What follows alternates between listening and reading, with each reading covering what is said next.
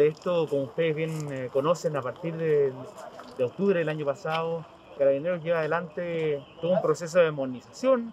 Nosotros tuvimos dos consejos, un consejo para la reforma de Carabineros, que, en que implementamos diversas medidas de modernización en materia de control de orden público, tanto dotándonos de mejores medios, que medios que estaban obsoletos por parte de Carabineros, como también distintos entrenamientos.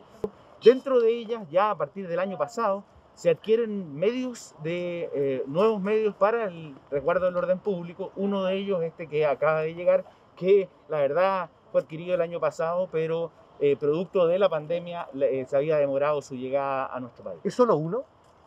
No, en total son muchos más medios, los otros ya han llegado, ustedes lo han visto, están desplegados en, en distintos lugares del país.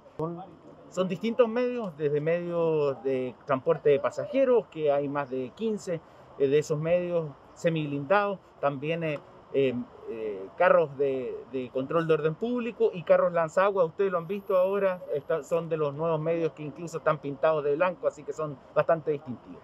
Yo diría, esto es parte de lo que implementamos como consecuencia de lo ocurrido para tener, dotarnos de mejores medios, mejor entrenamiento y mejores procedimientos para el mantenimiento del orden público y justamente con pleno resguardo de los derechos de las personas. Son recursos eh, del año 2019, por lo tanto, eh, la verdad es que son mucho anteriores su eh, ejecución a, incluso al inicio de la pandemia. No, no, no, antes, de, antes del, del 2020, por lo tanto, antes de la pandemia.